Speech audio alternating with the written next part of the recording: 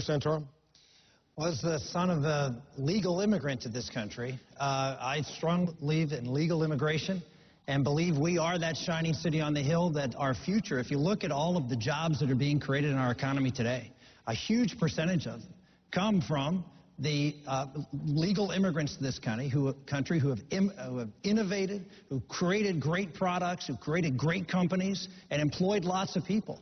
Uh, that's one of the reasons that, uh, that, that, I put together my, uh, my economic plan, was to take all that great innovation that's coming as a result of part of legal immigration and make sure that those products that are being created are actually made here in America. I'm only starting to say I think that we ought to have an H-1 visa that goes with every graduate degree in math, science, and engineering uh, so that people stay here. You go about five blocks down the street, you'll see a statue of Einstein. Einstein came here as an immigrant. Uh, so let's be clear how much the United States has, has drawn upon the world to be richer, better, and more inclusive. I do think, though, is what Steve, Ga what, uh, Steve Jobs said to President Obama. He had said to President Obama that he had to move a, a great deal of his operation over to China because he couldn't find 1,000 engineers to be able to do the work that needed to be done. That's what we want to do.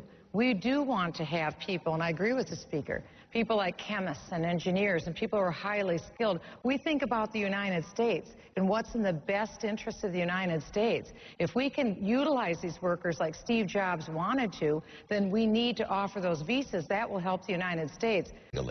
The right course for our immigration system is to say we welcome people who want to come here legally.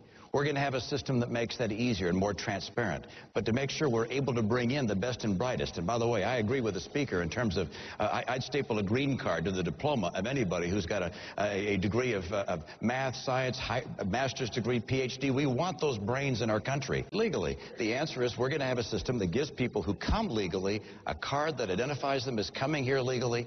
Employers are going to be expected to inspect that card, see if they're here legally.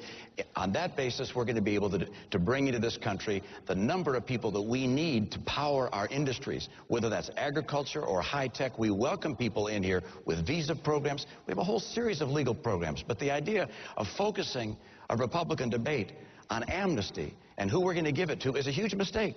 Secure our border, protect legal immigration, and, and return to a system that follows the law. All right, let's